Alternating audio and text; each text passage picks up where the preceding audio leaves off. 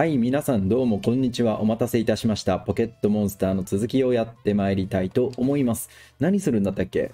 そういえばさ、このすごい 伝説のポケモンを捕まえてしまってますね、私。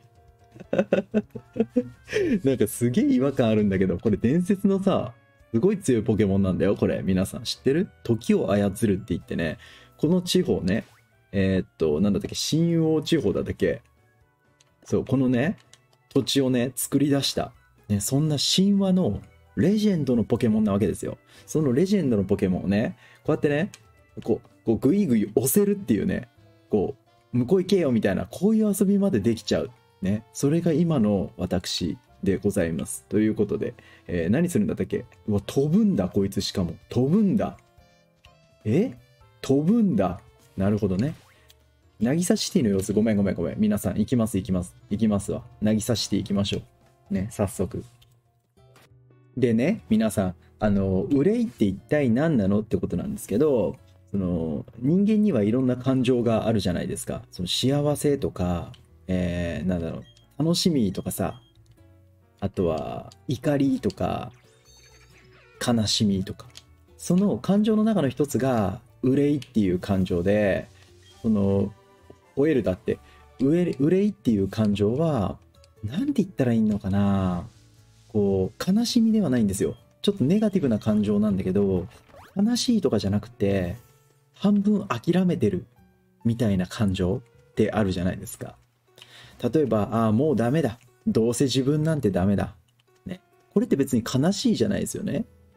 よくさ、こう、ちょっとこう、鬱っぽい症状になった時に、そのディプレッションっていうかさ、鬱っぽい症状になった時に、あ、もうどうせ自分なんてダメだ。あ、ダメダメ。もうやっても一緒。ね、勉強したって一緒。覚えらんない。やってもダメ。みたいな感情。これが憂いと呼ばれる感情ですね。うん。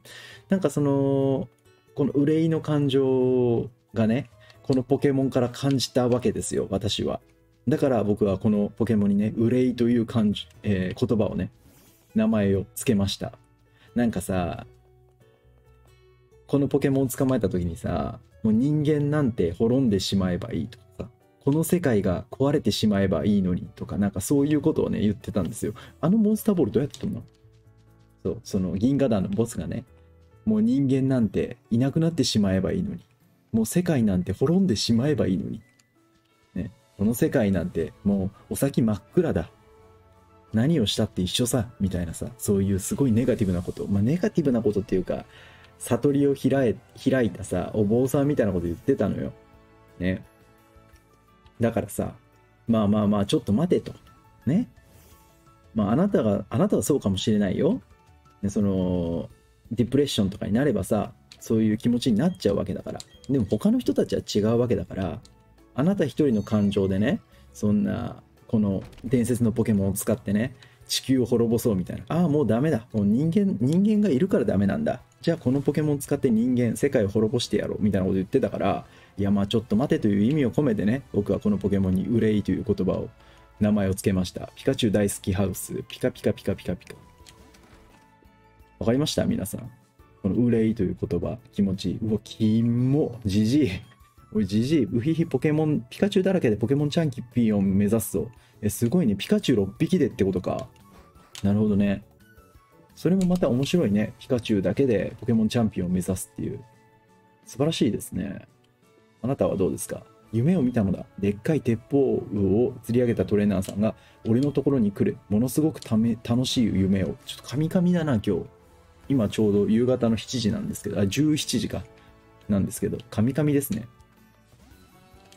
トレーナーと戦うのめんどくさいんでね、痩せっぽっちでは頼りない。でも重すぎると船が沈む。難しい職業だよな、船乗りってやつは。なるほどね。船乗りって英語で何て言うのかな？船乗り。うんと、船乗りってこういうやつ。こういうやつ。これ船乗りって言うんですよ。船乗りって分かりやすいよね。船っていう漢字に乗るっていう漢字。船はシップ、乗るは、えっ、と、ドライブとか、トゥーライドとか、コントロールとかそういう意味があるよね。だから船に乗るって書いて船乗りなんだよ。そう考えるとすごく分かりやすくないですか？船乗りね。ヒンバス。何これヒンバス？ほら、ざま見ろヒンバス。魚。なんで浮いとんねん、お前。魚のくせに。よし、なぎさシティ着きましたね。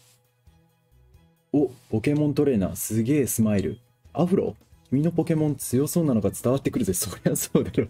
そりゃそうだろ。ねえ、アフロの兄ちゃん、私、伝説のポケモン持ってんすよ。おっと、自己紹介。俺の名前はオーバー。ポケモンリーグの四天王さ。へえ。そうだな、君ならできるかもな。この町のジムリーダーだけどさ、久しく手強い挑戦者挑戦者が来ないからって、ポケモンジムの改装ばかり、挙句に停電だからな。たく世話が焼けるぜ。君、熱いポケモン勝負であいつのハートに、ハートをガンガンに燃やしてくれよ。頼むぜ。はい。え、何にも言わないんですか？私のこの伝説のポケモンに対して。誰も私の伝説のポケモン何にも言ってくれないんだけど、ここは渚シティ、太陽が照らす街。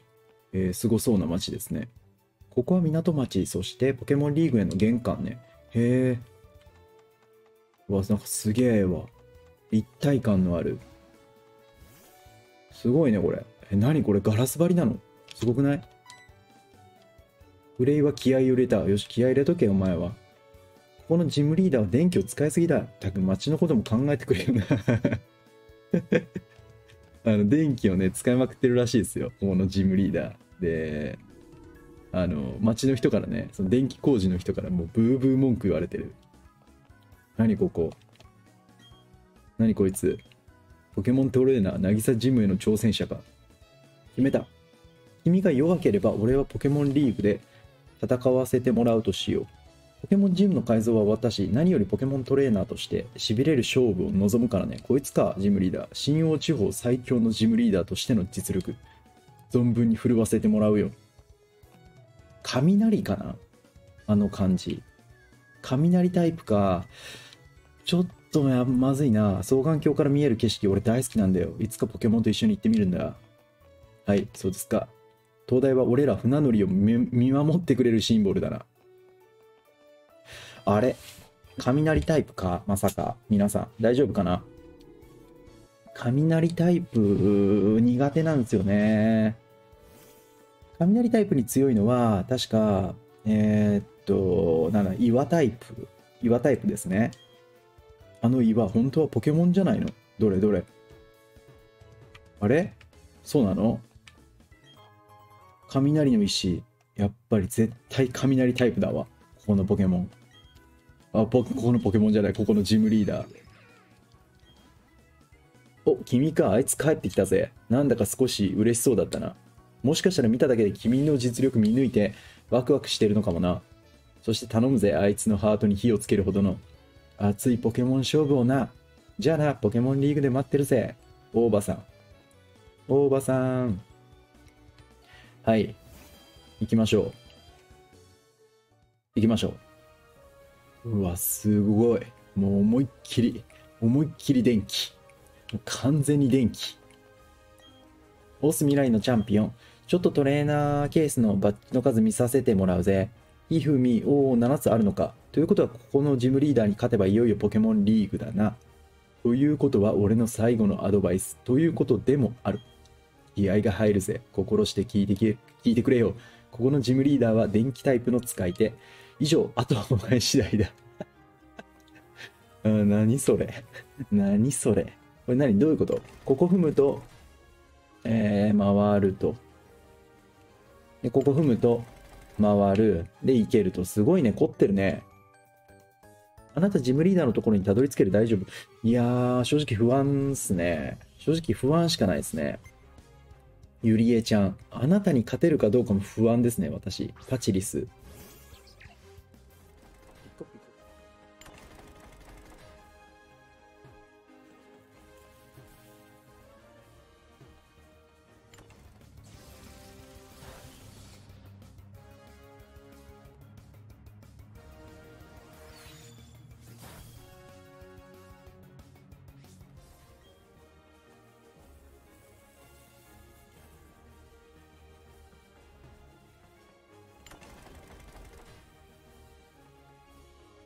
はい、皆さん、お待たせいたしました。ようやくたどり着きました。なんか結構ね、複雑そうな、こう、なんギミックに見えるんですけど、意外と一本道で簡単にここまでたどり着けましたね。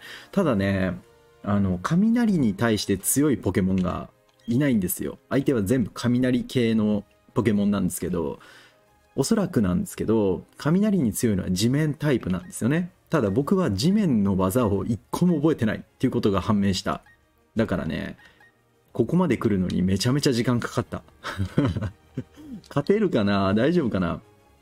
さて、挑戦者、デンジさんですね。かっこいいね、デンジさん、髪型。たまに俺と戦えるトレーナーがいるけれど、みんなつまらないというか、手応えがないんだよ。うう、俺がジムリーダーのデンジ。この感じ、この感じまさに憂いですね。ああ、やれやれ、やってられねえぜ、みたいなね。新王で一番のジムリーダーだと言われるが、まあいいや。俺にポケモン勝負の楽しさを思い出させてくれるトレーナーであってくれ。俺は退屈してるんだ。俺を楽しませてくれよ。まあそう言わんばかりの、このね。皆さん、デンジさんの左側、ね見て、あれ。ウォレットチェーンですよ、皆さん。ウォレットチェーン、あれ。ね、中二病の証ですよ、あれ。ウォレットチェーンつけてる人います？皆さん大丈夫ですか？中二病の証ですからね、やめましょうね。ウォレットチェーンとか、あと、ドクロの、何？ドクロのネックレスとかね、かなり恥ずかしいですからね。あれ、中学生とかはね、みんなつけたがるんだけどね、大人になってそれやってるとかなり恥ずかしいですからね。えードラゴンクロー。ウォルトチェンジ。何それ？ボルトチェンジ。あ、変わるやつね。交代するやつね。なるほど、なるほど。交代して何を出すんですかねえ。ウォレットチェーン。ミスターウォレットチェーン。ドラゴンクロー、おら。猿。おい、猿。えー、猿、猿、猿、猿、猿、猿、猿。原子の力で、原子の力使うと、あのね、能力が上がるんですよ。猫魂。何それ聞かないよ、そんなの。猿。うわ、ひるんで技が出せない。ずる。ダブルアタック。何それ？何それ？ちょっと。ねえ。なんすかそれ？やめてくださいよ。原子の力、いけ能力上がれ能力上がれ上がらない。ちょっと頑張って原子の力で能力上がりましょう。上げましょう。上げれるところまでね。このお猿さんの相手してる間に、なあ、ウォレットチェーン見てろよ。ほら、原子の力。くらえエテポース。ふ、参ったな。君の気持ち、ポケモンのひたむきさ。戦ってるだけで熱くなる。とてもいい勝負だった。何こいつ、このクラウドのバッタモンみたい。バッタモンっていうのは偽物ですね。ふっふっふ。はっはっは。久々に楽しいポケモン勝負だった。そしてこれからもポケモンが、君がどんな戦い方をするのか、楽しみでたまらない。あ、8つ目のジムバッジ受け取ってくれ。勝ち。何、ジムバッジドクロじゃないの？デンジからビーコンバッジをもらった。ありがとう、デンジさん。ポケッチの秘伝技の滝登りが使える。ポケモンリーグに行くために必要な技だ。バッジが揃った今、どんなポケモンでも、素直に君の言うことを聞いてくれるようになるだろう。あと、これも使ってくれ。デンジが使っているシールもらった。ありがとう。わざわしいごじじゃあ、こいつがやることさ、いちいちさ、もう笑っちゃうわ。もう、ウォレットチェーンはめてるもんだって。えーチャージビームだ。攻撃が命中すると、ポケモンの特殊攻撃が高まるすごい技さ。へえ、それめっちゃいいんじゃないの？ねえー、でもこの人、ウォレットチェーンはめてるからななんつっても。そう、そのウォレットチェーンっていうのはそれぐらいの破壊力がありますんでね、皆さん。気をつけましょうね、使うときは。はいえー次はポケモンリーグへ向かおうということで、もう物語も本当に終わりですね。ポケモンリーグに行って、その、おそらく四天王ですね、さっきの大場さんとかと戦って、チャンピオンと戦うぞというところです。はい。えー最後まで結局ね、このポケモンでしたね。ウレイ、ペンギン、クラゲ、デニム、イーロン、紫と。まあ、この子たちで行こうかなと思いますんで、ね。次回をお楽しみにしていただければ嬉しいです。ということで、皆さん、またね。